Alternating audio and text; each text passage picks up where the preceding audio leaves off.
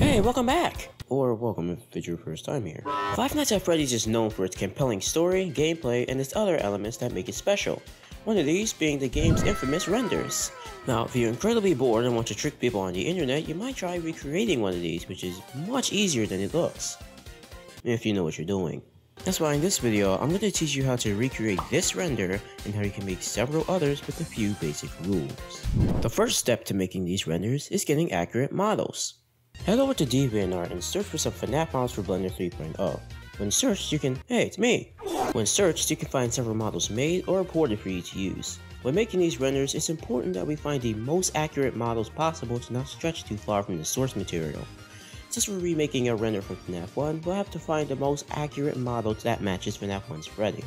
Now, this would be pretty hard to find, but luckily my buddy Rozband has blessed us with these godlike ports that we can use.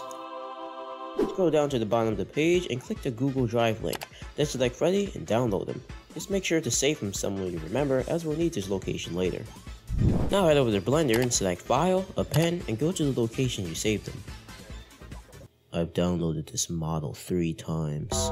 Click his file and select the collection folder, then look for his name on the list and select it. Once you're done, hit append and he'll be summoned into your computer.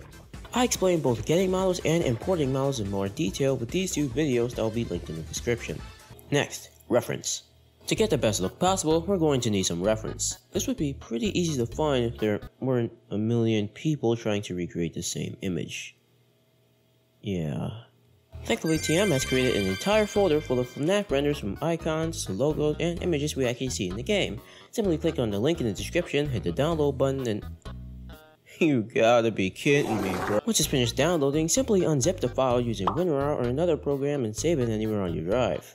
Alright, now to set up our scene. Go to the upper left corner of your screen and drag it a little bit to make another window. Select this drop down menu and go to the image editor. Then go to open and find your ref folder to import the FNAF 1 icon. Easy. Next, go to your output properties and make sure the resolution is at 1920 by 1920 pixels. Now select numpad 1 and try to align your viewport in the middle as best as possible.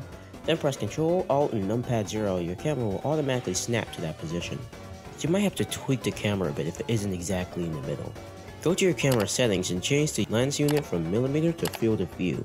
By moving this, we can see that the render gets flatter and less three-dimensional the lower we drag it. Now, how to get this number accurately is kinda tricky. You can either ask around somewhere, use fSpy, or try and guess. But personally, I'm I balling it? With an FOV of about 1.5 and adjusting the camera a little bit, you should get this. Make sure to save your file before you have an unexpected crash and ruin your day. Going to viewport shading mode, we're going to move on to some render settings. Make sure your render engine is set to Eevee with render quality at around 120. Turn off ambient occlusion, bloom, and reflections. Make sure the shadows are set to 4096 pixels or 2048 if you have a lower end device. Go to film and make sure filter size is set at 0.50 pixels. Go to color management and make sure filmic is set to standard. After this, you should be golden. Now for lighting. Set the world color to black and head over to the render view. Press Shift A to import a light. Unlike the last time we did the scene, we'll be using sunlights instead of area lights. By rotating the light, the first thing you might notice is the fact that the shadows are atrocious. Go to your shadow settings and turn off smooth shadows. You can increase the power to get a better look at the scene and the shadows still suck. In your camera settings, go to clipping start and increase the amount until Freddy is about to disappear. Then change the end to its same amount, but increase it until Freddy appears again. Bada bing bada boom, now the shadows don't suck. Something you can do to make things better is turn the shadow bias down in your light shadow settings. Changing it makes more shadows appear where they should. Now, you might be asking, B, how do I know the color and location of the lights? Well, that's easy. If you look at Freddy's nose, the reflections give us the exact location and color of the lights. The shadows on his eyes can also help us with placing the main light. We can make some small adjustments to match our reference until it looks good. Making these things look perfect take quite a while.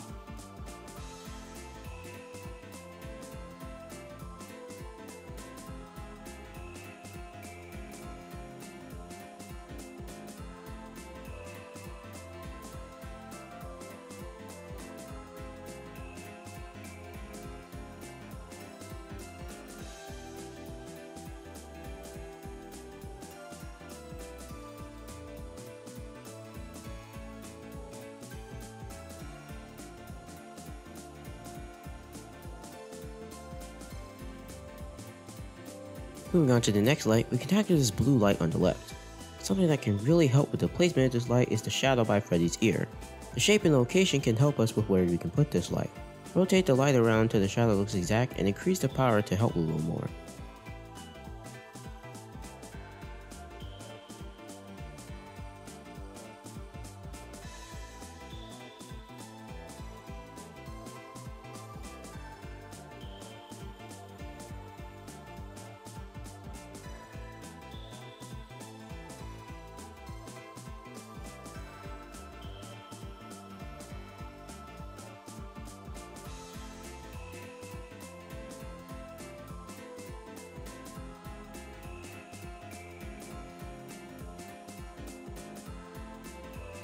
Once you're done, we can move on to the color. For this one, you can either eyeball it, or if you're lazy like me, you can just eye drop it and adjust it a little bit.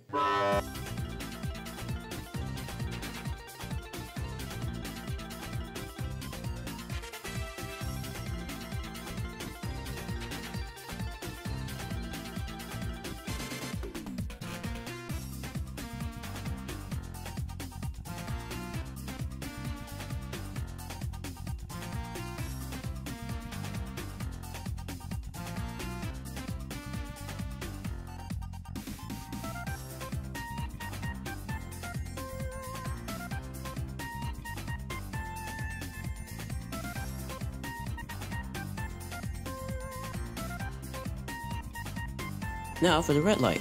Using the same rules as before, we're just going to change the position to match the reflections along with putting the brightness and color.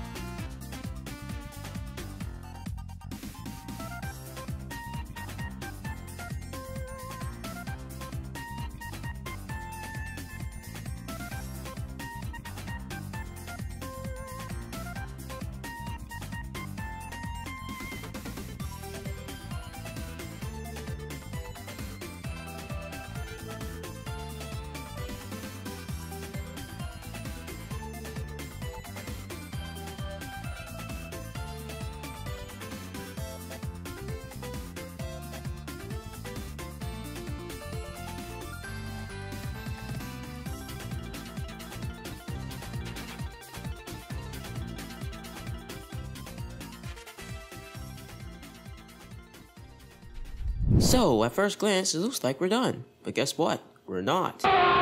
There's still this purplish light over here that I've seen a few people forget. Import another light, increase the brightness, and do your thing. Look at the reflections and find some shadows to match this light as best as possible.